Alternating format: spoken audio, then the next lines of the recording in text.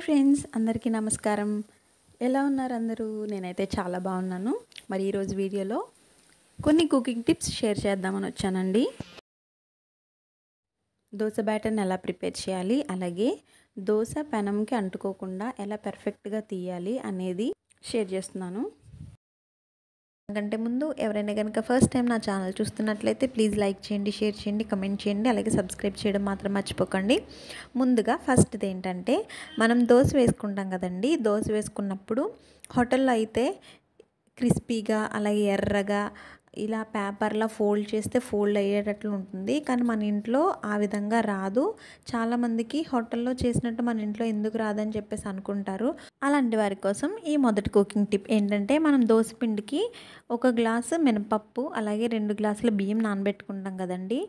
నానబెట్టుకునే ఆ బియ్యంలో బియ్యంతో పాటు ఒక ఫుల్ టేబుల్ స్పూన్ మెంతులు నానబెట్టుకోవాలండి. అలాగే one and half table spoon కానీ లేదా రెండు టేబుల్ స్పూన్లు కానీ పచ్చిశనగపప్పును కూడా వేసుకోవాలి. అర్థమైందండి?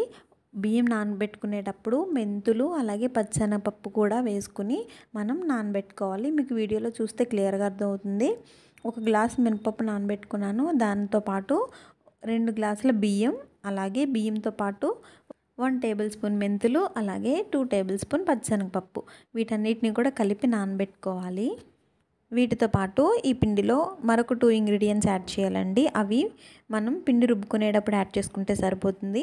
ఈ వీడియో కనుక మీరు స్కిప్ చేయకుండా చూస్తే అర్థమవుతుందండి. ఈ దోశ బ్యాటర్ అనేది పర్ఫెక్ట్గా ఎలా ప్రిపేర్ చేసుకోవాలో. నానబెట్టిన తర్వాత అవి శుభ్రంగా వాష్ చేసుకుని మనం మిక్సీ చేసుకుంటాం కదండి.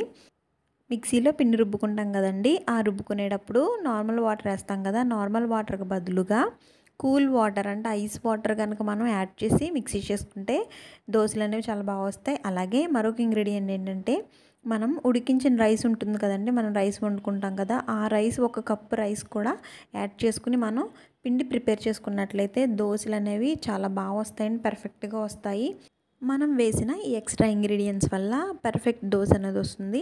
అలాగే ఇంకొక టిప్ ఏంటంటే దోశ వేసుకునేటప్పుడు చాలామందికి ఆ పెనంకి దోశ అంటుపోతుందండి సరిగ్గా రాదు.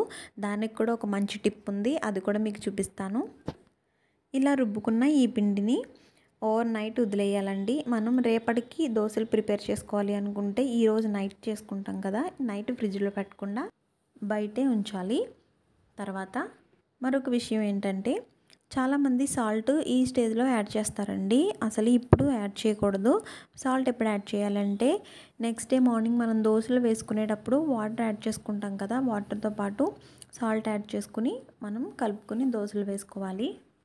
నేను ఈ పిండిని రెండు గిన్నెల్లో సర్దానండి. నెక్స్ట్ డే మార్నింగ్కి ఈ విధంగా వచ్చింది. ఈ ఈ స్టేజ్లో నేను సాల్ట్ అలాగే వాటర్ని యాడ్ చేసుకుని దోశ బ్యాటర్లా కలుపుకొని అంటే మరీ థిక్గా కాకుండా మరీ పలుచగా కాకుండా మధ్యస్థంగా ఉంచుకొని దోశ బ్యాటర్ అనేది ప్రిపేర్ చేసి పెట్టుకున్నాను.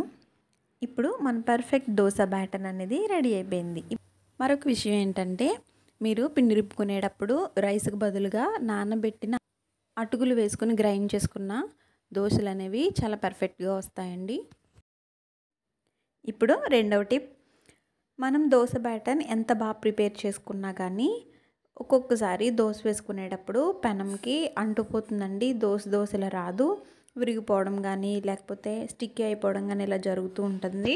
మరి ఈ దోశ అంటుకోకుండా నాన్ స్టిక్ పెనం మీద వేస్తే ఎంత ఈజీగా వస్తుందో అంత ఈజీగా. నేను చెప్పే ఈ టిప్ ద్వారా ఐరన్ పెనం మీద కూడా వస్తుంది. అదేంటంటే రేపు దోశలు వేసుకుంటాము అనగా ముందు రోజు రాత్రి పెనంని శుభ్రంగా వాష్ చేసుకుని స్టవ్ వెలిగించి పెనంని స్టవ్ మీద ఉంచి ఒకసారి వెయిట్ చేయాలండి. నేను మీకు వీడియోలో చూపిస్తున్నాను. ఒకసారి వాష్ చేసుకుని శుభ్రంగా స్టవ్ మీద పెట్టుకుని వెయిట్ చేయాలి. ఆ వేడికి పెనం మీద ఉన్న వాటర్ అంతా కూడా పోయిన తర్వాత త్రీ టేబుల్ స్పూన్ ఆయిల్ వేసుకోవాలండి. ఆయిల్ కొంచెం ఎక్కువగానే వేసుకోవాలి. ఆయిల్ అంతా వేసుకున్న పెనం అంతా కూడా స్ప్రెడ్ చేయాలండి. మొత్తం స్ప్రెడ్ అయిన తర్వాత ఓవర్ నైట్ అంటే ఆ నైట్ అంతా కూడా ఆయిల్తోనే అలా వదిలేసేయాలి. వదిలేసి నెక్స్ట్ డే మార్నింగ్ మీరు ఆయిల్ ఏం క్లీన్ చేయక్కర్లేదు. ఆల్రెడీ మనం క్లీన్ చేసిన పెనం మీదే వేసాం కాబట్టి ఆయిల్ మీదే మనం దోశ వేసేసుకోవచ్చు. దీనివల్ల ఏంటంటే పెనం అంతా ఆయిల్లో నాని మనకి స్టిక్కీ అనేది రాదు. మీకు ఇంక దోశ కూడా వేసి చూపిస్తాను. చూసారా దోశ ఎంత పర్ఫెక్ట్గా వస్తుందో? ఏ సైడ్ కూడా అంటుకోకుండా వస్తుంది. పెనం మీద దోశ ఇంకా పర్ఫెక్ట్గా రావడానికి మరొక టూ టిప్స్ కూడా ఉన్నాయండి. అవేంటంటే ఉల్లిపాయని సగం కట్ చేసుకుని సగం కట్ చేసుకున్న ఉల్లిపాయని ఫోర్క్ కానీ లేదా చాకు కానీ గుచ్చుకుని కాస్త ఆయిల్ పెనం మీద వేసి రుద్దుకున్నట్లయితే కూడా దోశ అనేది పర్ఫెక్ట్గా వస్తుంది. మరొక విషయం ఏంటంటే మనం డైలీ వాడుకునే ఏ పేస్ట్ అయినా సరే ఆ పేస్ట్ని కనుక కాస్త పెనం మీద వేసుకుని రుద్దుకుని వాష్ చేసుకుని దోశ వేసుకున్నా కూడా చాలా పర్ఫెక్ట్గా వస్తుందండి. నాకు ఈ త్రీ టిప్స్లో బెస్ట్ అనిపించింది ఆయిల్ టిప్పేనండి ఎందుకంటే మనకి ఆయిల్ అనేది వేస్ట్ అవ్వకుండా ఉంటుంది. మిగిలిన టూ టిప్స్లో ఆనియన్ అలాగే పేస్ట్ అనేది వేస్ట్ అవుతుంది. అందుకనే నాకు ఈ టిప్ బాగా నచ్చింది. అందుకని మీకు షేర్ చేశాను. ఏంటి ఫ్రెండ్స్ నచ్చాయా నా టిప్స్ నచ్చితే కనుక నా ఛానల్ని లైక్ చేయండి షేర్ చేయండి కమెంట్ చేయండి. అలాగే సబ్స్క్రైబ్ చేయడం మాత్రం మర్చిపోకండి. Thank you for watching